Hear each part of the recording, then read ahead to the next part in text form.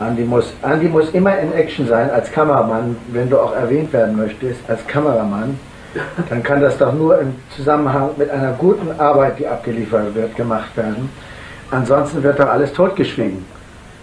Nur, dass du dir darüber im Klaren bist. Na?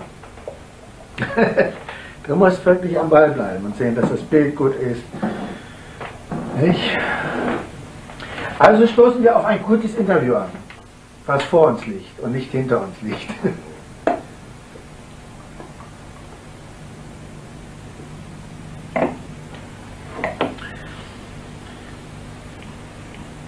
Wir werden nichts Befremdendes tun oder sagen. Also werde ich einfach sagen, dass wir alte Freunde sind, alte Kumpel, uns viele Jahre kennen.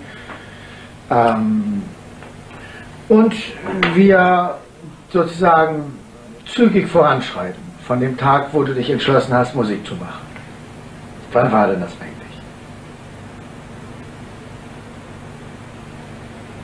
Das war in meinem elften Lebensjahr. Geklingelt habe bei der Klavierlehrerin, dass sie mich nicht hören konnte, ich aber zu Hause sagen konnte, ich habe geklingelt und niemand hat aufgemacht. und eigentlich wollte ich Fußball spielen weiterhin, was ich vorher getan habe. Aber dann, nach einem Jahr, habe ich nachts, äh, abends im Radio, was war das? Salzburger Festspiele, irgendwas. Äh, ein Konzertabend gehört, Schubert, Beethoven. Wie alt warst du da so? Elf.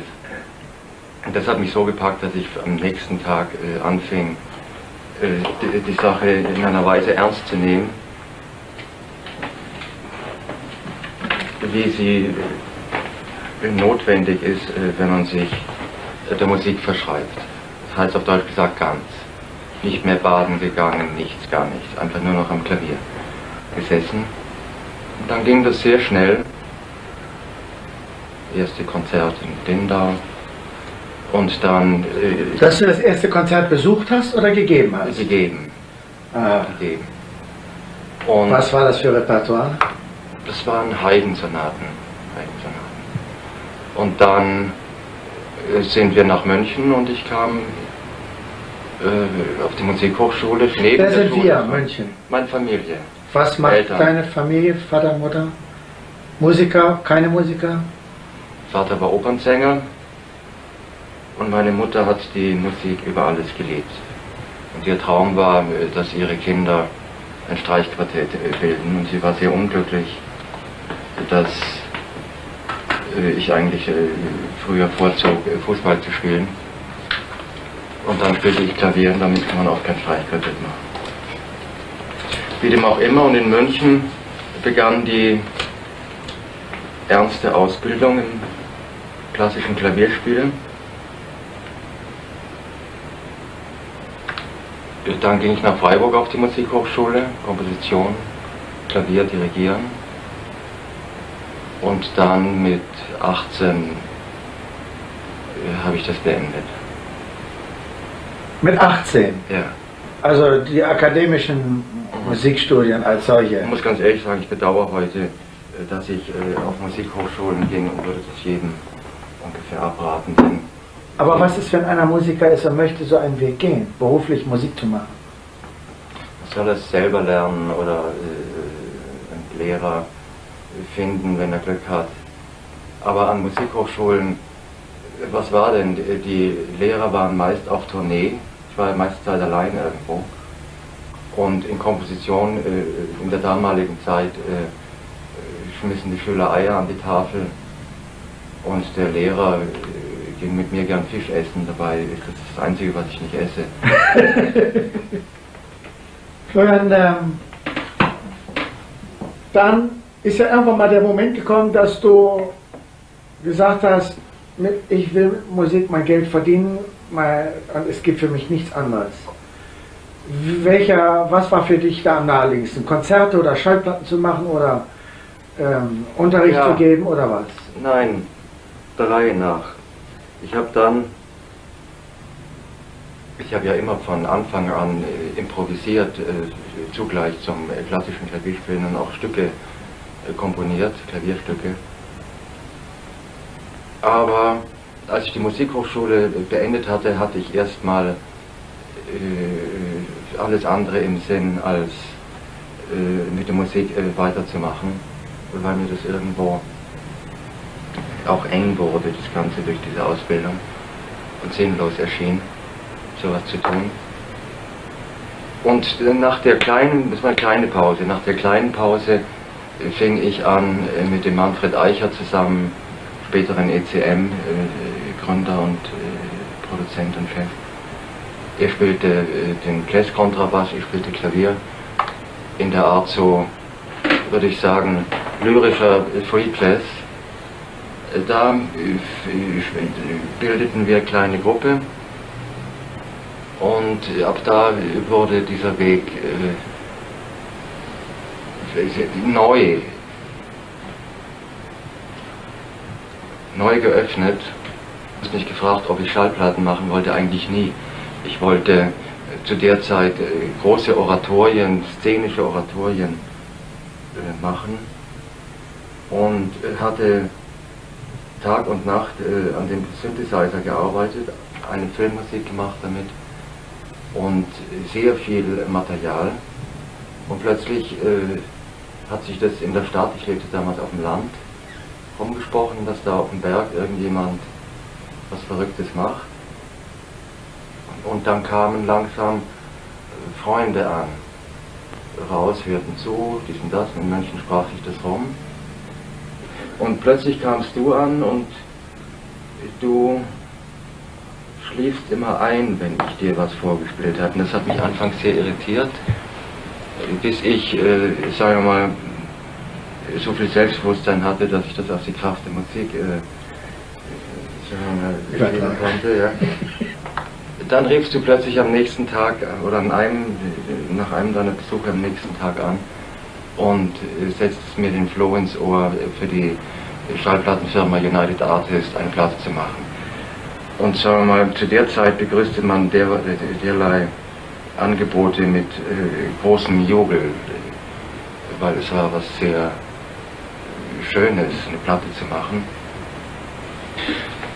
Hast du dieses Buch eigentlich mal gesehen?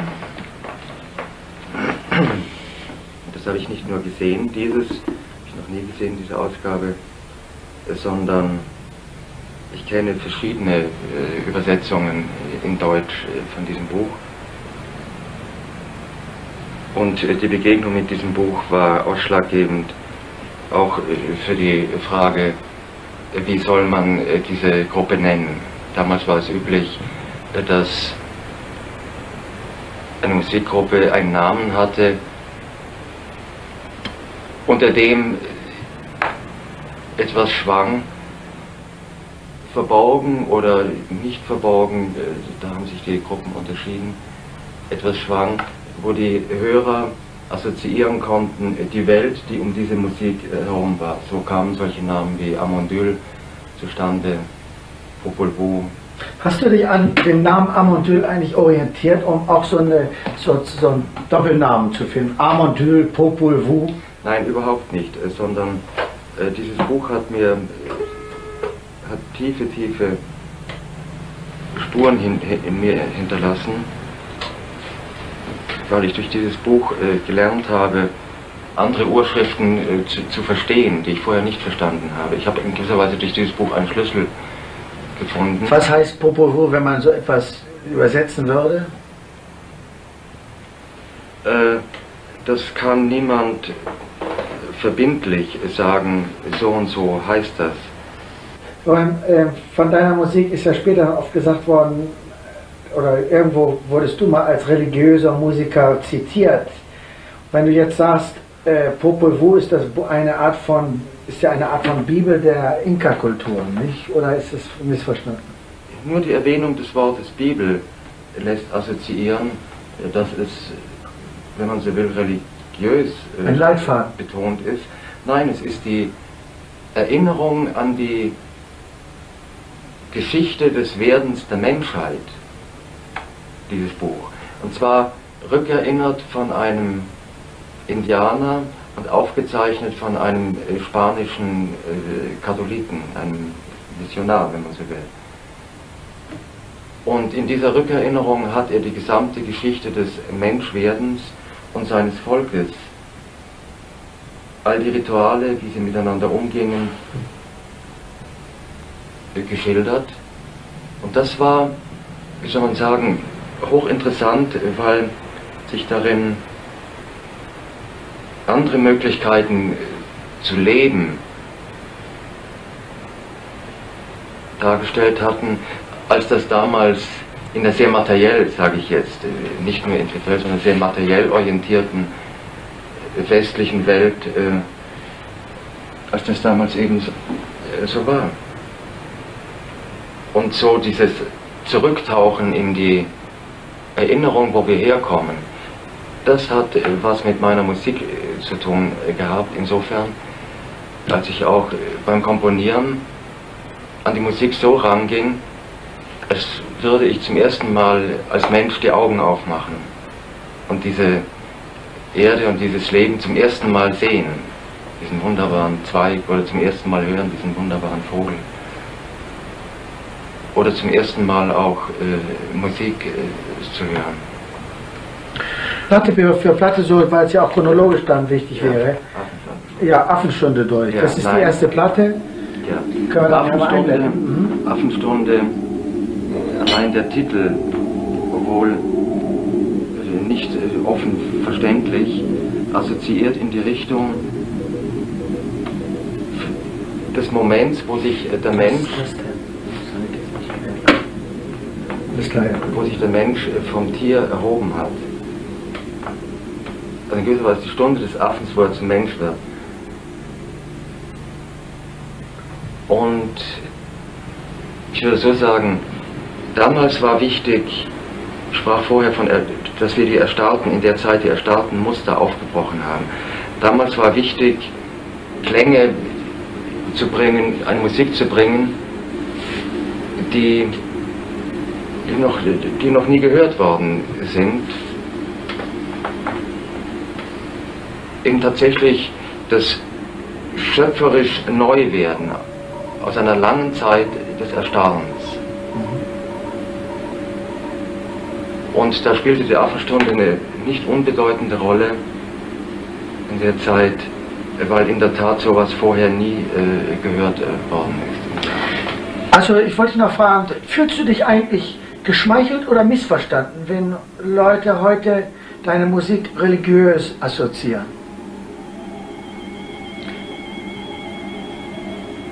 Es ist gar nicht die Frage, ob ich äh, mich geschmeichelt fühle oder missverstanden. Äh, beides trifft nicht so. Ich fühle mich weder missverstanden noch äh, habe ich auch nur den geringsten äh, Bezug zur, zu dem, was man hier unter Religion äh, versteht.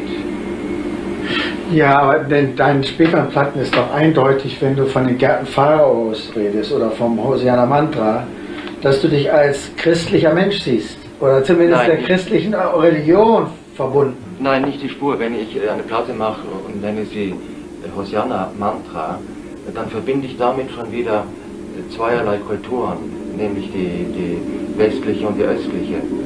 Einfach so, du hast die Idee gehabt, nachdem, nein, ich habe ja eigentlich die Idee gehabt, eine Platte zu machen mit, mit Moog Synthesizer, nämlich mit elektronischer Musik.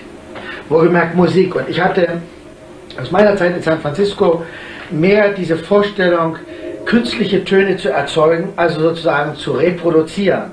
Das war aber nicht deine Verbindung zu einem Moog Synthesizer. Denn du hattest ja aus ganz anderen Gründen mit diesem Instrument hantiert. Es gab damals äh, zwei Möglichkeiten.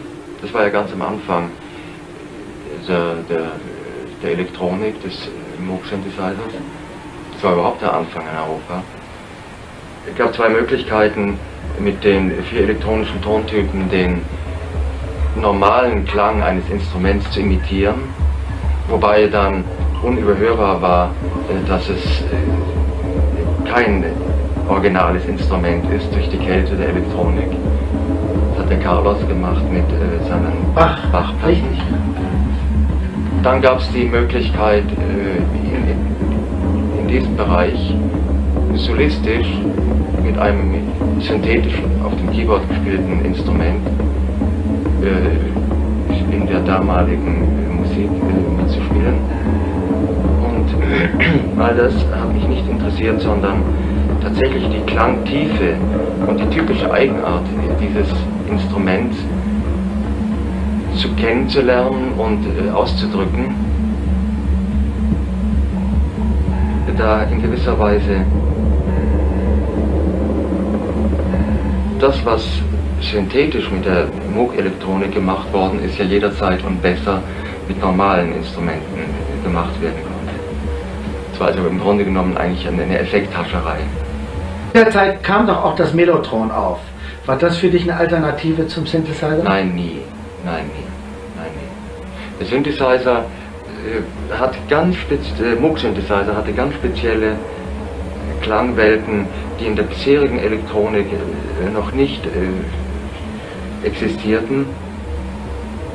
Und in diese Tiefen äh, des Klangs bin ich eingestiegen mit der Arbeit an der Abendstunde. Auch die spezifische Möglichkeit der Rhythmik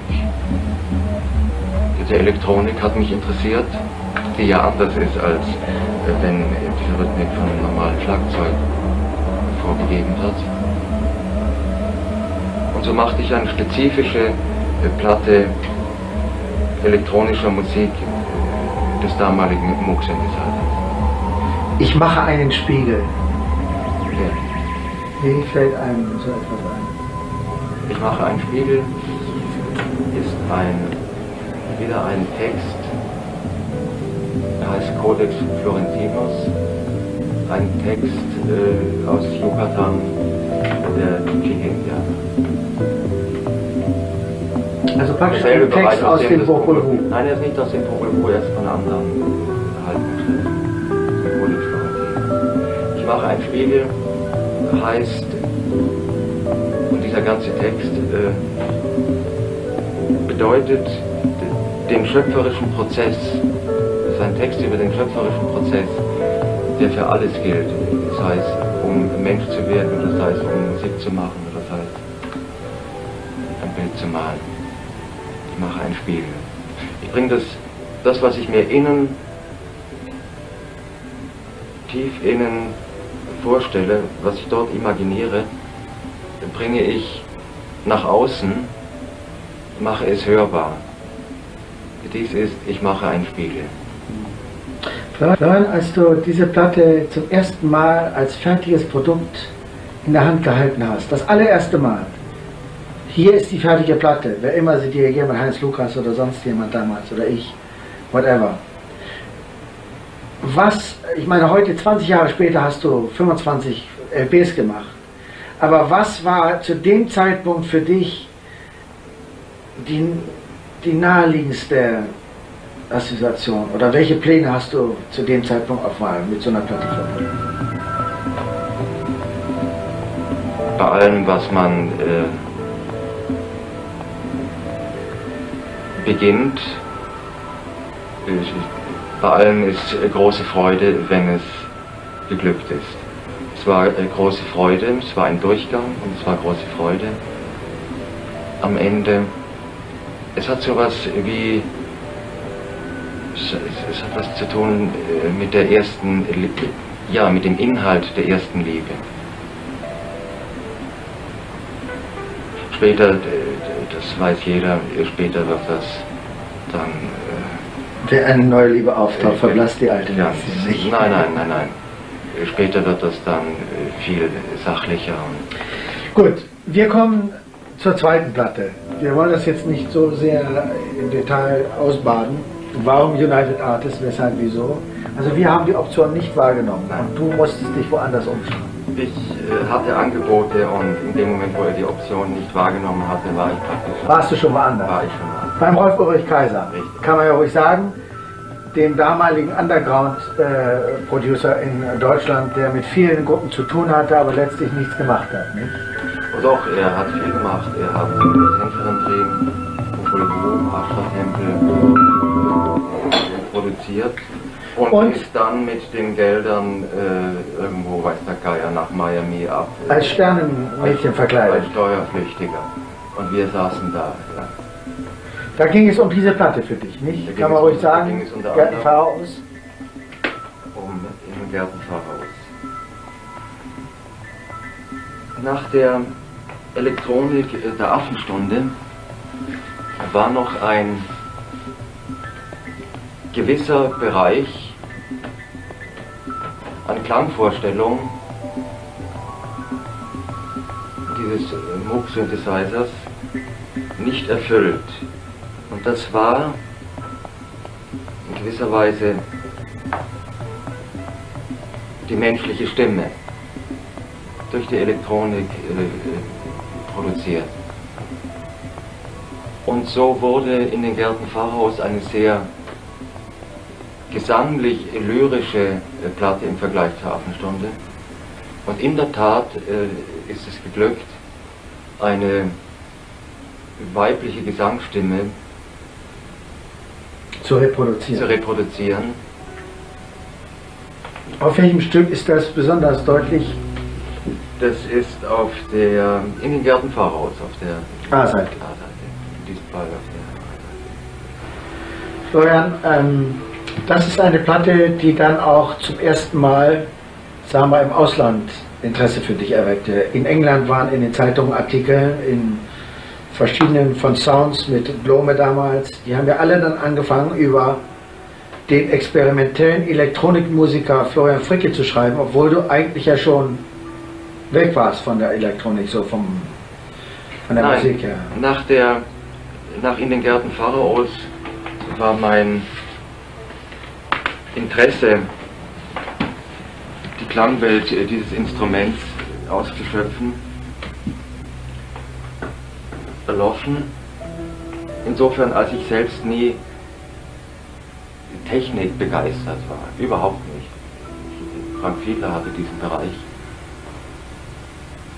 zu übernehmen in der Gruppe. Mich hat die, die, der Klangbereich interessiert. Der erschien ausgeschöpft und ich begann äh, Musik zu äh, komponieren und zu produzieren mit äh, normalen Instrumenten. Und es entstand äh, Hosiannenhofer. Florian, wenn man sieht, dass du ja immer weiter und immer wieder Platten gemacht hast, hat man ja gemerkt, dass die Firmen Interesse daran hatten, weil sich deine Musik ja auch offensichtlich anfing zu verkaufen. Sonst wird ja eine Firma aus rein geschäftlichen Gründen so etwas nicht fortführen. Normalerweise. Normal, also zumindest im, im kapitalistischen Westen ist das so. Kannst du dich daran erinnern, in welchen Größenordnungen damals deine Platten verkauft wurden? Du hast ja Lizenzabrechnung gekriegt wahrscheinlich. An, an was soll ich denn sonst erinnern? Ja, vorsichtig. Äh, du weißt selber, erstens redet man nicht über das Geld. Äh, Nein, nicht über das Geld, aber- auch nicht. Und über Tantiemen erst recht nicht und über Lizenzen. Das stimmt alles. Sowieso Aber wenn einer, wenn einer wie George Deuter sagt, dass sich seine Platten am Anfang mit 2.000, 3.000 Platten verkauft haben, das Stück, die heute aber insgesamt nach 20 Jahren vielleicht 80 bis 100.000 verkauft haben, so ist das doch eigentlich nur, nur ein Zeichen in der Relation. Ich meine, Michael Jackson ist kein Vergleichsstab, aber wenn ein Vollenweider heute in Amerika eine halbe Million Platten verkauft, mit dem Anspruch, meditative Musik zu machen, da kommen wir ja auch noch drauf, dass du ja bei einem bestimmten sagen wir, Käuferkreis oder eine bestimmte Klientel so langsam gewonnen hast, die heute im New Age Bereich liegt, äh, die damals als die, wie wurde das damals bezeichnet? Willst du mich ärgern oder was? nein, ganz und gar nicht. Aber das stimmt doch, da- das darf man doch nicht übersehen, dass du zu der Zeit in einem mehr meditativen Bereich äh, deine, deine Käufer gehabt hast. Stimmt doch. Ja, stimmt schon, ja. Warum soll ich deswegen ärgern? Adenauer, Adenauer hat mal gesagt, Schau mal. Adenauer hat mal im? Bundestag gesagt, ich kann mir auch keine neuen Menschen äh, schaffen, ich muss mit denen leben, die da sind. Selbstverständlich. Wir gingen aber aus von äh, den Verkaufszahlen. Das war äh, unterschiedlich und war immer bestimmt äh, von dem Einsatz der Promotion. Aber ich meine, indem du Musik machst, wirst du natürlich nicht Michael Jacksons äh, Verkaufsumsätze erreichen, aber doch zumindest liebäugelt man doch mit dem Gedanken des Erfolges, nämlich auch des kommerziellen Erfolges. Ist doch klar, sonst braucht man keine Platten zu machen. Nein, das stimmt natürlich so nicht. Äh, Das ist, äh, tatsächlich Unsinn. Die, die faire Gleichung für einen Künstler heißt, dass er das, was er sich vorstellen kann, realisieren kann. Das heißt, er muss dementsprechend äh, leben können, er muss, äh, wenn er Familie hat, seine Familie erhalten können, er muss verdienen. Was mich interessiert hat, war so viel äh, Geld mit der Arbeit, äh, der ich mich verschrieben hatte, äh, zu verdienen, äh, dass ich immer in der Lage war, Ideen realisieren zu können. Das habe ich erreicht. Im Wesentlichen mehr interessiert mich nicht. Als du damals Platten gemacht hast, kamen ja Leute, neue Leute auf, die ebenso in diesem Musikbereich, sagen wir mal, sich profilieren wollten, wie Klaus Schulze. Ja, oder Ashra Tempel, die, die, das war, ich, sag, ich sagte ja vorher schon, erstarrte Formen sind zusammengebrochen und wir waren Pioniere damals, das Neue zu formulieren, das Neue hinzustellen. Und das hat plötzlich enorm vielen Menschen äh, damals äh, Mut gemacht, äh, das, was sie betrifft und was sie sich vorstellen, auch zu tun. Die Gruppen schossen nur so aus dem Boden damals. Und äh, zum Beispiel Tänzerin Dream machte bis zu der Zeit, wo es Affenstunde in Pharao gab, machten sie, so wie das damals in Deutschland üblich war, Imitation englisch-amerikanischer Rockmusik. Hast du in irgendeiner Weise eine Konkurrenz in der Existenz dieser Musiker gesehen? Oder? Nein, nie. Ich habe mit äh, Tangerine Dream zusammen das Doppelalbum Arten in Köln im Studio äh, gespielt und produziert. Ich habe auch mit Gila zusammengespielt, als Dank für seine Arbeit, äh, für Conny Feits Arbeit. Hast du an der Runde nie? Oceana Mantra habe ich in, auch, auch wieder Köln mit Dieter Dirks. Äh, den Piano-Part von Ron Knee, der Gila-Platte von Connie Veit, äh, gespielt als Dank, um ihm das zurückzugeben. Und dort äh, übrigens als Schlagzeuger äh, den Daniel Fischischer kennengelernt. Ja. Ach, den hast du durch Danny kennengelernt? Äh, durch, durch, ja, ja, im Studio. Äh. Ja, ja. Wir waren eine Woche lang äh, kommunizierten wir. Connie Veit, der kannte ihn. Kommunizierten wir, wir spielten damals, das war der neue Dreh, in Kabinen aufzunehmen, um den äh, Klang äh, so getrennt wie möglich äh, zu haben fürs Mischpult. Um heute, eine Transparenz heute, zu... Ja, heute macht man das längst nicht mehr. Ich war immer Gegner davon, weil es zu unmenschlich ist, über Kopfhörer äh, in getrennten Räumen äh, miteinander ein Stück zu spielen. Und da habe ich den Daniel Fischler kennengelernt und der war ja dann kurz darauf plötzlich Gitarrist bei Popol Vuh überraschenderweise, obwohl er ein Schlagzeuger war. Aber er kam ein, nach, dem, nach der Gila-Produktion Wounded Knee, fuhren wir zusammen zurück nach München und ein paar Tage später kam äh, Danny an und sagte, er möchte die Gitarre spielen in der Gruppe. Und dann habe ich gesagt, na hör mal, ich denke, du bist Schlagzeuger. Und er sagte, nein, ich spiele auch Gitarre. Dann haben wir miteinander gespielt. Und es war beileibe nicht alles richtig äh, gespielt auf der Gitarre, aber hatte ein so unbeschreibliches Feeling, dass ich sagte, okay, fangen wir an zu arbeiten. Und äh, dann äh, innerhalb von ein paar Wochen war Danny nicht mehr wegzudenken aus der Gruppe mhm. als Gitarrist.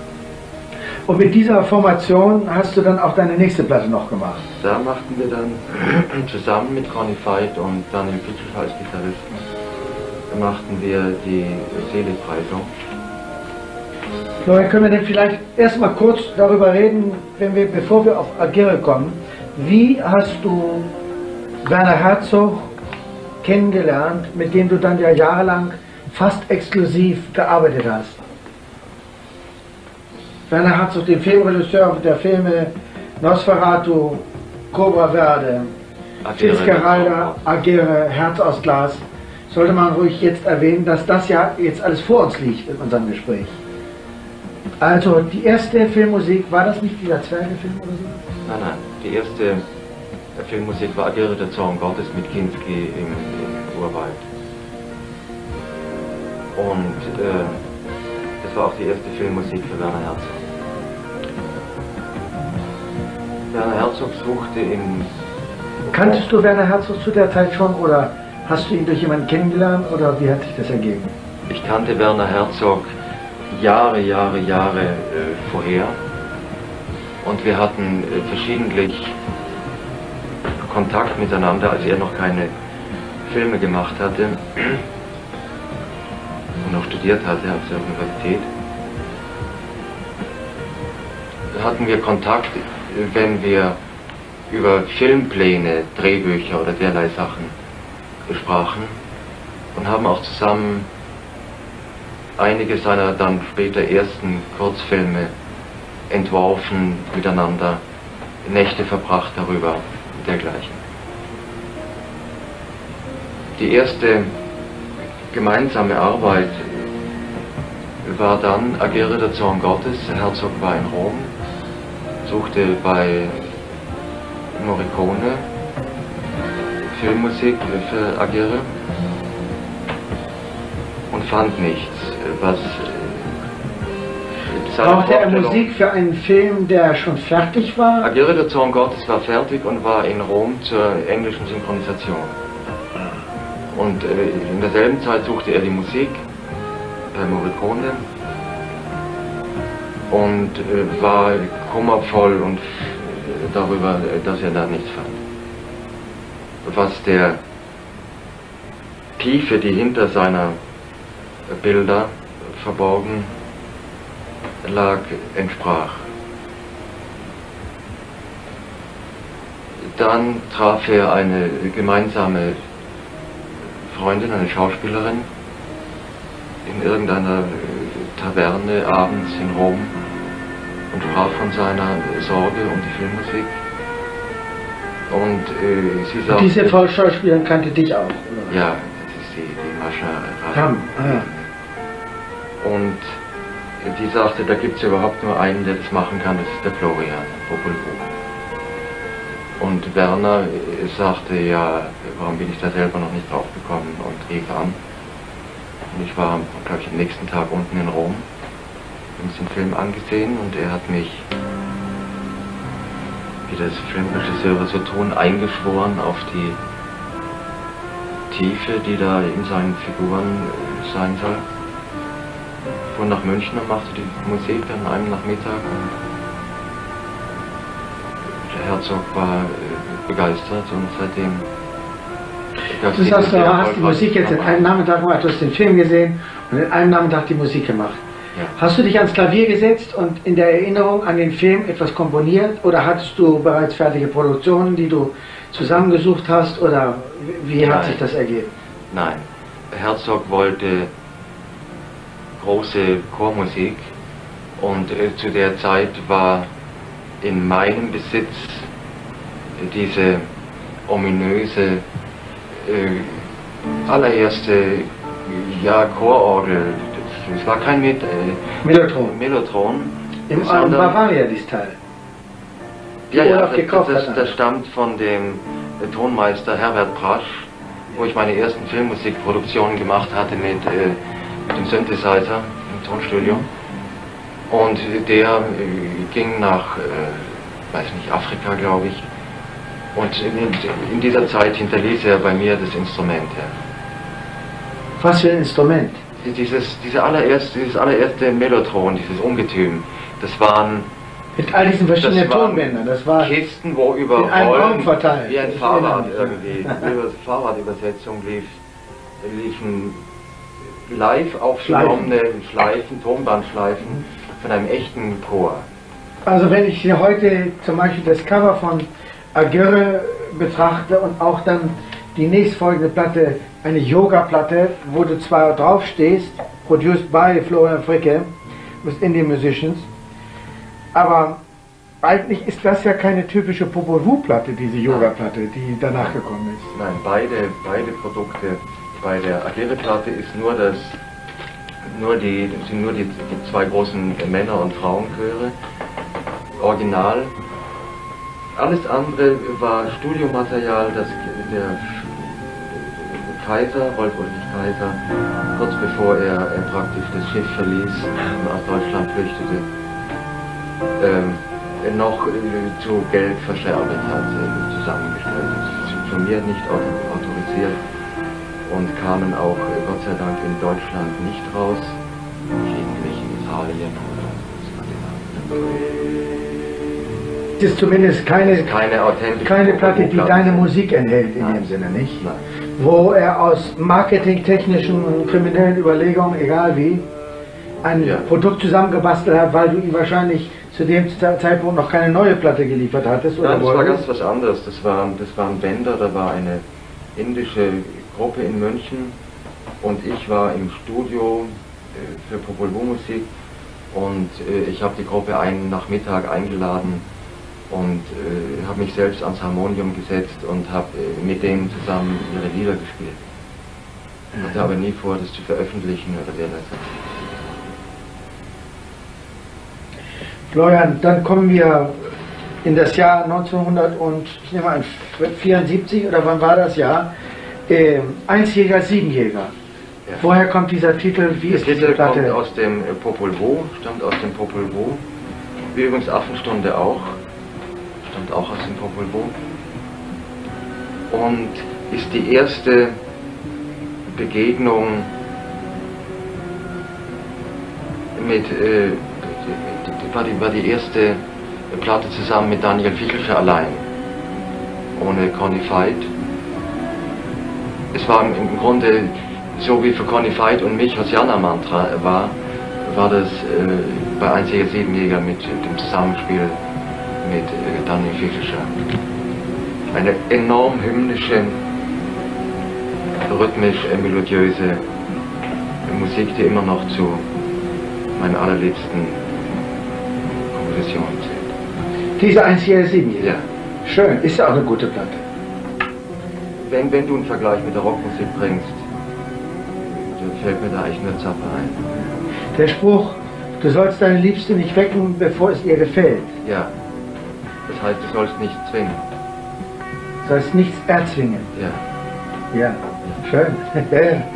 ähm, das steht da drauf als Zitat aus dem Buch Vuh, nicht? Oder? Nein, das ist aus, äh, aus dem Hohen, Hohen Lied Salomos. Ah. Also auch wieder der Christ, Florian. Nein, Urtext. Der Urtext. Ja, Urtext. Sehr schön. Wie ist es überhaupt mit dem, den, wenn du, oder wenn man als Komponist, sagen wir mal so, du hast ja sehr viele Urtexte verwendet, Ja, richtig? ja. Also was die Texte. In dem Zusammenhang ist das ja Public Domain sozusagen, dieser Urtext. Wäre doch Public Domain.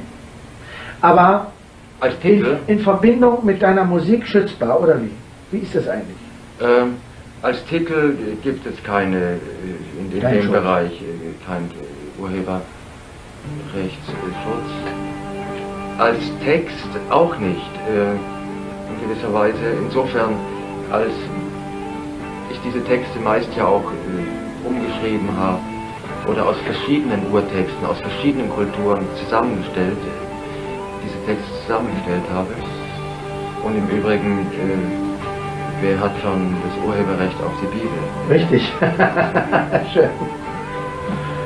Flora Fricke, Popol Vuh. Wir sind im Jahre 1975, 74, 75 nach Einsjäger, Siebenjäger. Die LP Einsjäger, Siebenjäger war die letzte Platte, die du gemeinsam mit Rolf Ulrich Kaiser gemacht hast. Und dann kam das Jahr 1973, 74. Wann war denn das? War Wim Schut, nicht? Oder was war das? War ich das? Wim Schut. Ich nach Amerika. Das warst wieder du. Ich kam praktisch äh, nach, nach der Beendigung äh, mit Cosmic Warriors und äh, derlei Dingen, Rolf Ulrich Kaiser, äh, kam ich äh, zurück zu United Artists. Firmenchef äh, Posten hat gewechselt, wie immer bei diesen Firmen, Turnus von zwei Jahren. Wenn sie nicht die richtigen Hits gebracht haben. sind neue Leute dran. Und äh, da machten wir bei United Artists Polizei. Weil sich was? Wo? Holy Salomons. Uli Altberger sehe ich gerade an dem Artwork. War das die Covergestaltung, die du selber so vorgeschlagen hattest oder war das ein Vorschlag aus dem Hause oder wie war das überhaupt generell mit den Covers zu deinen Platten? Das ist schon ein wichtiger Aspekt der ganzen Geschichte. Du hast ja sehr Also ich individuelle Cover te- teilweise. Ja. Ich habe begonnen mit Affenstunde und dort auch äh, das Cover selbst Konzipiert. Aus, mir ausgedacht, konzipiert und mir das Fotomaterial geliefert. Dann lange, lange Zeit äh, lag das allein in den Händen der Firma und ich hatte keinerlei Einfluss. Und äh, dieses Cover hat mich immer sehr gekränkt äh, durch diese Strumpfhosenfarbe. Ich war nie glücklich mit diesem Hohelied Salomon. Ja, außerdem bringt es eine etwas... Steht das Cover im Zusammenhang mit der Musik, die du da sozusagen anbietest? Nein, dieses Cover steht mit der Idee äh, deiner Firma, den Text zu kommentieren. Zusammen. Das ist ein Bild, das äh, die Vorstellung von äh, des Hohelied Salomos. Das war sozusagen die Idee von diesem Uli Eichberger damals.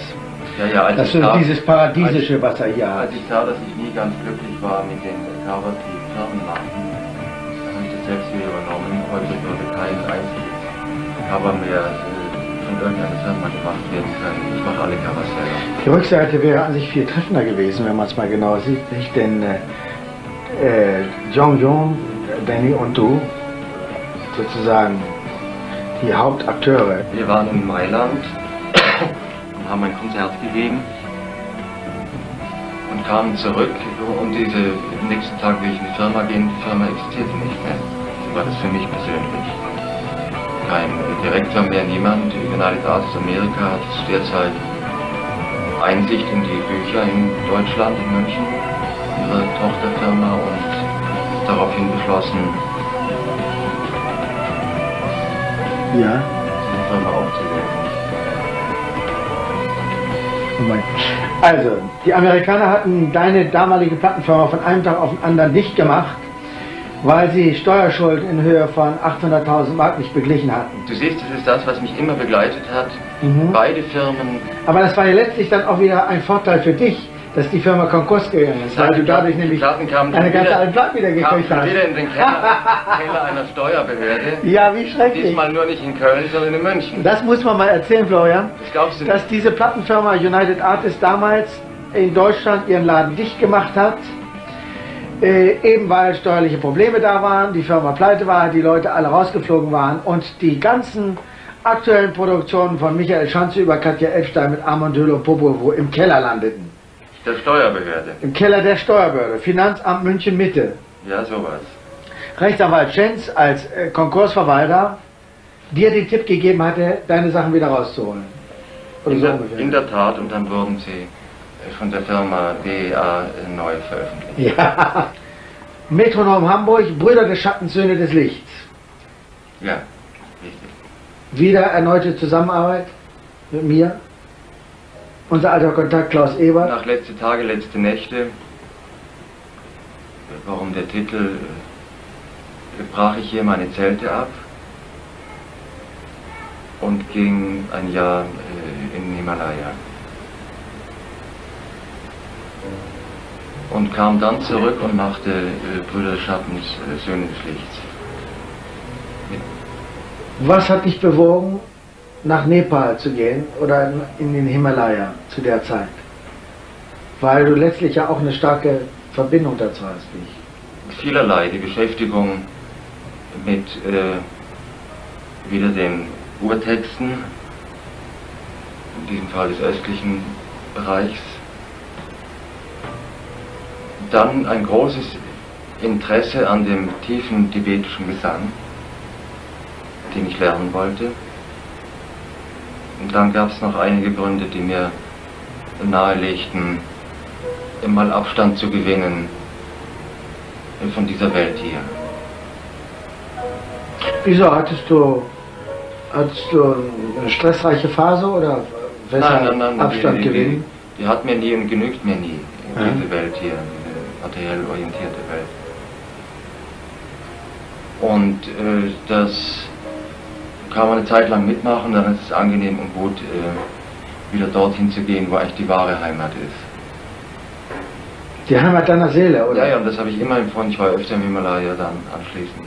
Habe ich immer empfunden, äh, wenn ich dort in den Bergen war, äh, dann wusste ich nicht mehr, wo ist eigentlich meine Heimat. Ist sie dort, wo ich tatsächlich geboren bin, in Lindau am Bodensee, oder liegt sie dort oben auf 5600 Meter? Das weiß ich nicht mehr. Bist du eigentlich mal in Amerika gewesen? Nie. Wärst du mal gerne in Amerika? Eher in Novosibirsk. Novosibirsk. Ja, das ist im längsten Teil von Japanisch-Amerika, oder was? Nein, das ist in Russland, Sibirien. ganz draußen in Sibirien. Russland, ja, Novosibirsk. Und ich habe viele amerikanische Freunde und nichts gegen äh, die Landschaft Amerikas und die Pharma, sowas alles. Nur dieses Leben in den Städten wie New York, das äh, interessiert mich nicht. Also, wir haben davon gesprochen, dass du 1900, wann war das? 77 war das wohl mit Brüder des Schattens Sünde des Lichts, nicht? Möglich, ja. 77, 78. Als Ergebnis deiner Reise in den Himalaya Ja, gemacht hast. Ja, das kannst du, wenn ich dich unterbrechen darf, das kannst du äh, daran erkennen, dass das Titelstück äh, Brüder des Schattens, äh, Söhne des Lichts, ungefähr 20 Minuten lang knapp, den Rhythmus des Schreitens, des Gehens hat. Das, was man im Himalaya tut. Da geht man. 18 Minuten und 20 Sekunden. Ja, ja, und es ist ein tatsächliches Schreiten. Rhythmisches Schreiten. Und dieses Stück ist dann aber auch ein Teil der Musik in dem Film von Werner Herzog vom Fitzka, ne, ne, Nosferatu. Ja, ein nicht unwesentlicher Teil.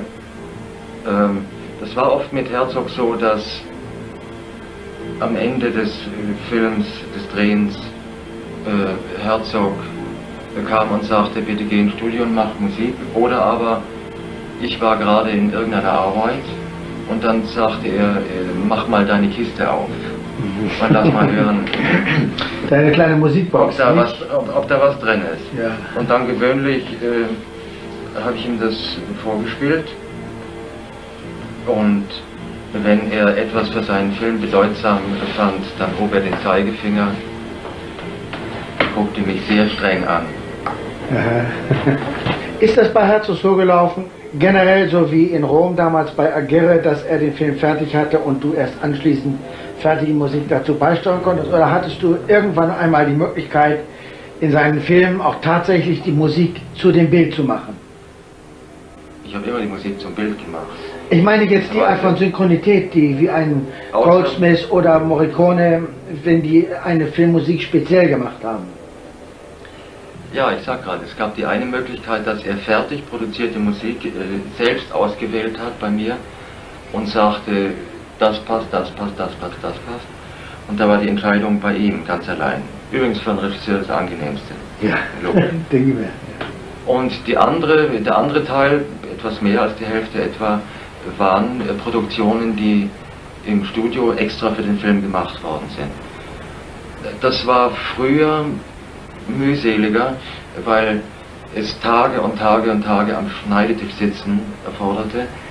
Später wurde das äh, brillant einfach dadurch, dass wir im Studio den Videorekorder hatten und einen Fernseher und äh, praktisch zum Bild direkt äh, Bewegung der Musik anlegen konnten und derlei Sachen machen konnten. Und da konnte sich Herzog natürlich nach den ersten Erfahrungen langsam darauf verlassen, dass ich die, das, was er eigentlich sagen möchte, dass ich das verstanden habe und dass mir das nicht fern ist und äh, dass ich dazu die entsprechende Musik machen kann. Und so erklärt sich diese ja, wie soll man sagen, kontinuierliche Zusammenarbeit, die natürlich immer unterschiedlich ausfiel.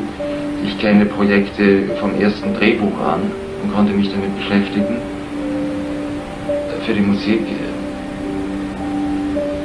Aber meist war es doch so, dass ganz am Ende immer in äußerster Eile, weil die Kinotermine schon gebucht waren und die Termine nicht platzen konnten, dass eigentlich immer am Ende die Filmmusik in Tag und Nacht äh, Arbeit äh, gemacht wird. In welchem dieser ganzen Filme von Cobra Verde, Nosferatu, Fitzcarraldo, Herz aus Glas, Aguirre, all diesen Filmen, welcher ist für dich der Film, wo du dich am meisten mit identifizierst, wo deine Musik so eingesetzt ist, wie du die selber von vornherein gerne drin gehabt hättest?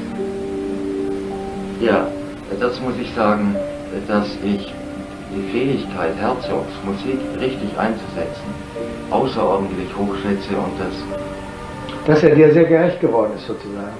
Er wird nicht mir gerecht, sondern er wird äh, seinem Bild gerecht. Und wenn ich dem Bild gerecht geworden bin, werde ich äh, selber auch äh, belohnt, äh, wenn er das richtig einsetzt. Ja, richtig. Ja, und er hat es immer, immer richtig Toll. eingesetzt. Er hat ein enormes Gefühl für Musik obwohl er selbst sprachlich seinen Wunsch nach Musik nicht formulieren kann. Also wenn ich mich an, den, an die Eröffnung von sowohl Fitzcarraldo als auch die Eröffnung von äh, Nosferatu erinnere. In einem Fall waren die ganzen Gebeine da im, äh, in Mexiko irgendwo. Nosferatu, ja. Nicht? Und im anderen Fall war es der Urwald. Ich glaube, nur die, die Chöre von ja, hier. Ja. Und dann diese, äh, beides waren in gewisser Weise also atmosphärische Szenen, die so wichtig von der Musik bestimmt wurden. Versucht Bilder zu machen, wo du das, was du siehst, glaubst zum ersten Mal zu sehen. Ebenso war das einer meiner inneren Haltungen, wenn ich Musik gemacht habe. Die tiefe Möglichkeit, der Musik ihr zu begegnen. Zweifellos ist der Filmstil Herzogs für die Musik von Popol Vuh sehr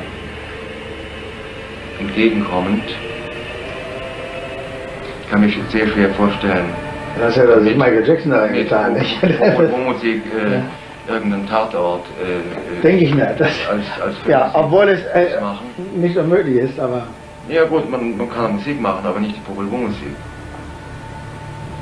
Die meint was anderes. Die meint tatsächlich die, ja, sagen wir mal, die Seele im Menschen anzusprechen.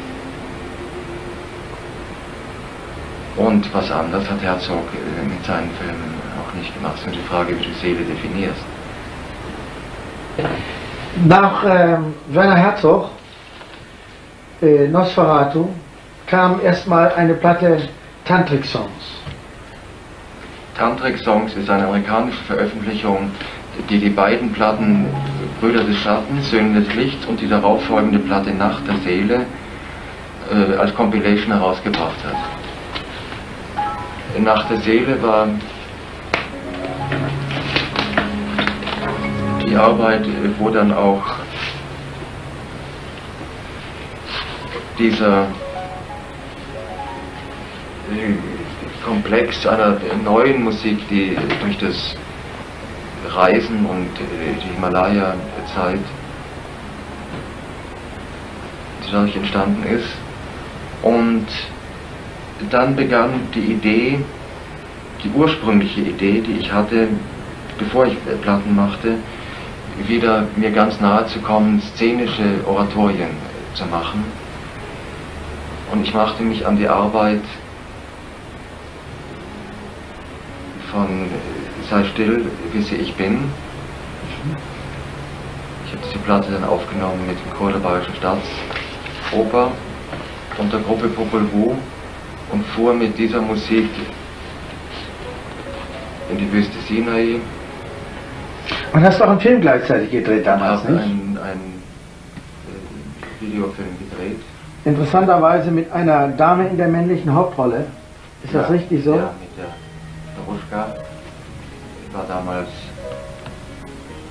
sehr äh, bekannt als, als Fotomodell und wenige kannten ihre tiefe Art. Und Dazu muss man sagen, die Veruschka war aus dem Film Blow Up berühmt geworden als Fotomodell, nicht? So kann man das ja, schon zur Erklärung ja, sie war ein sehr berühmtes Fotomodell. Weltberühmt, ja. und äh, hat dann mit Antonioni zusammen im Blow-Up äh, praktisch ihre Filmkarriere, die sie nie zu Ende gemacht hat, also irgendwie zu was anderem bestimmt war, begonnen. Wir kannten die Vera schon aus der allerersten Zeit, als wir in Peterskirchen in einer Art, äh, damals noch vor der Zeit der Kommunen, in einer Art Wohngemeinschaft von Künstlern äh, gelebt haben. Dort entstand auch in den Gärten Pharaos. Und es war meine Idee, Vera als Propheten in, in diesem Film einzusetzen und wir haben zusammen ein Bad gesucht und Vera mit ihrer langjährigen Erfahrung als Model hat während des ganzen Films äh, auch die, das Schminken vorgenommen und das Kostümieren der Leute. Sie hat die äh, Kostüme genäht und äh, hat sich als äh, unglaublicher, ja, als ein unglaublich gutes Gruppenwesen dargestellt. Und so war das Drehen eine sehr schöne Zeit. Dieser aber ich sehe, dass du zu der Zeit sehr unstet von einer Firma zur anderen gewandert bist. Das ist Innovative Communication, die nächste Platte, die davor war, Celestial Harmonies. Dann äh, Unitone in Norwegen, Ope Opedal. Nein, das sind alles nur äh, Auslandsveröffentlichungen, die du da hast. Ja, ich finde es sehr interessant. Ich meine, viel, ich finde es ein interessanter As- Aspekt einer professionellen Schallplattenkarriere, um das mal so zu sagen. Ich weiß das aus Ike und Tina Turners Zeiten, wie Ike Turner eigentlich nur jede Möglichkeit wahrgenommen hat, um überhaupt ein Produkt auf den Markt zu bringen. Nämlich seine Kreativität umzusetzen in marketingtechnischer, promotioneller Weise oder sonst was. Geht dir das auch so, dass du um jeden Preis deine Sachen auch als Platte auf dem Markt haben willst? Oder hätte es auch sein können, dass ein Werner Herzog-Film gelaufen wäre, wie Cobra Verde, nehmen wir das als Milan Records, und da wäre keine Platte auf dem Markt gewesen. Gibt es so etwas, war doch nie irgendwie für dich da, nicht? Nein, nee. Es war immer mein Wunsch, mal irgendwann etwas zu komponieren, was nicht veröffentlicht wird. Und irgendwann habe ich mir das fest vorgenommen bei zwei Liedern. Und wieder warst du da, diesmal ein Zimmer drunter und schliefst wahrscheinlich auch. Und ich saß am Klavier und spielte diese beiden Lieder. Und daraus wurde dann von dir initiiert eine Single, eine meiner erfolglosesten Arbeiten, die ich je unternommen habe. Du sollst lieben, oder was? Ja. War das das? Ja, ja, im Übrigen zwei Stücke, die ich heute noch sehr liebe. Ja, Ja, das ist ja auch schön. Jong-Jun. ja. Ja, richtig. Ja, schön. Ja, ja. Jetzt erinnere ich mich. Hast du, Äh, weißt du nicht, wie viele Platten du bis heute gemacht hast, genau? Nein, äh, was sagen wir mal, äh, es gibt derlei äh, Aufstellungen. 25, 30, 35, Ja, nicht 40. Originale, nein, nicht Originale. Mit Repackaging und Wiederveröffentlichung. Mit dem allen zusammen wohl, ja. Aber Ja. ich würde sagen, Originalplatten etwa 23, nicht? na, schätze ich nicht mal. Originalplatten würde ich sagen 18, so, ich weiß es nicht. Du willst dich übrigens einen, einen guten, guten äh, Videofilm, ja. Was? Da sitzt einer so ein Redelzug, ja. Es sind noch ein Haufen Leute da. So. Und der merkt gar nicht, wie die gehen alle. Nachts Ja, sitzt er immer noch da und redet. der Film läuft, ja. Na klar. Ähm, pass mal auf, jetzt, wir, kommen, wir kommen jetzt hier auf die Produkte, die dir als solches wichtig sind von diesen Leuten. Die neuesten Sachen, neueste Platte, aber wir sind jetzt im Jahre 1990. Nicht? 1990? Jetzt müsste ein Cobra Verde ankommen. Ja. Ja, Cobra Verde. Der letzte Film, den er mit Kinski gedreht hat, oder ist noch was Und danach? gut, ich habe Agape Agape und die Spirit of Peace, aber sag mal, das habe ich jetzt abgetan mit den... Äh, Mit den vielen internationalen New Age Filmen. Aber wir kommen zu dem Film Cobra Verde. War das eigentlich der letzte Film oder war Wojciech davor oder danach? das ist der letzte äh, Herzog-Produktion, äh, große Spitze. Die jemals getroffen? Ja, ja. Wo? bei Herzog im Büro, wenn Kinski sich das Geld abgeholt hat und ich habe ihn da als Aus